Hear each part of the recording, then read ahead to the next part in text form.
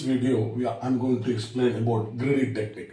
This greedy technique is an another algorithm design technique, just like brute force, divide and conquer, decrease and conquer, dynamic programming, transform and conquer. So this is also another algorithmic design technique. Okay, now this greedy technique is used to obtain op- obtain optimal solution. So this technique is used to obtain what? Optimal solution. So in my previous video, that is in part 26, I explained about what is by optimal solution and also about feasible solution. Okay. So now this greedy technique is used to obtain what? Optimal solution. What do you mean by optimal solution? Optimal solution is just a feasible solution so out of all the feasible solution, whichever the feasible solution is satisfying the objective of the problem, that feasible solution will call it as an optimal solution. Okay, for such type of problems, we are applying greedy technique. So once again, so assume we are having some input, okay, input 1, input 2, input 3, input 4, like this there are some n number of inputs are there. Input 1, input 2, input 3, input 4, layer input n number of inputs are there. Out of that, I need to, we need to select what? Few of them. Suppose for example, I need to select uh, input 2, input 3, suppose in between some, some inputs. So this input only I need to select out of many inputs. For such type of problems, we are applying greedy technique. Okay, once again I will summarize.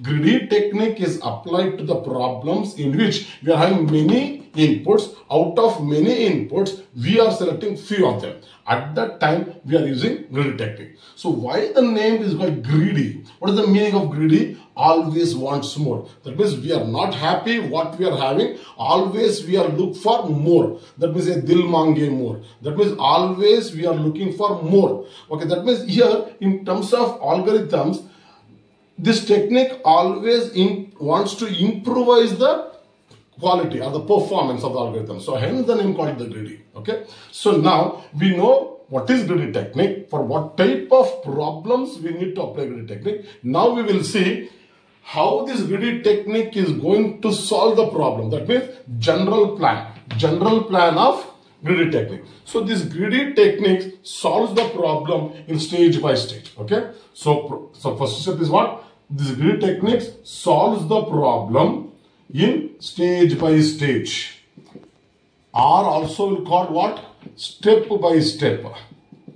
Step by step by considering only one input at a time.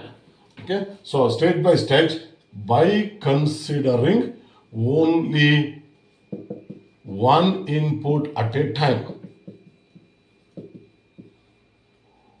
That means I told for what type of problems this greedy technique is applied, the problem which is uh, having multiple inputs. When multiple inputs are there, it is select. So that means it's solved stage by stage by taking only one input at a time. That means first step, it will take one input. Second step, it will take only again one more input. Third step, one more input. Like that at every stage, it will take only one, one, one input. So like that, it keeps selecting. Now, each step it is taking one input in such a way that we should get feasible solution. Suppose by selecting the input, if I am not getting the feasible solution, then we are not selecting.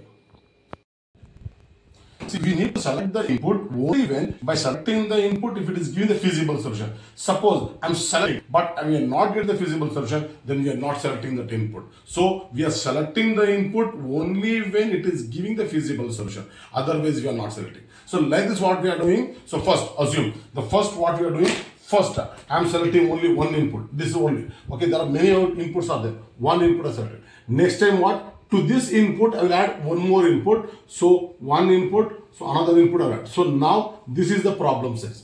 Now earlier this is only one problem size. This is a two problem. A problem size of two. So similarly next I will include so third input. Now this is my problem size. Like that every time we are increasing the problem size because what? First step I will select one input. Next step, I'm selecting one more input. Third step, I'm selecting one more input. Like that, every time I'm selecting one more input. That's why we are enhancing the input size. That means we are increasing the input size. That is what the third step.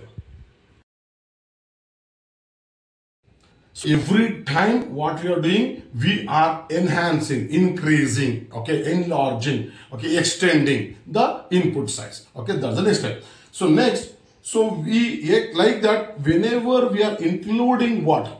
One input, we are getting a what feasible. That's the final, feasible solution. No.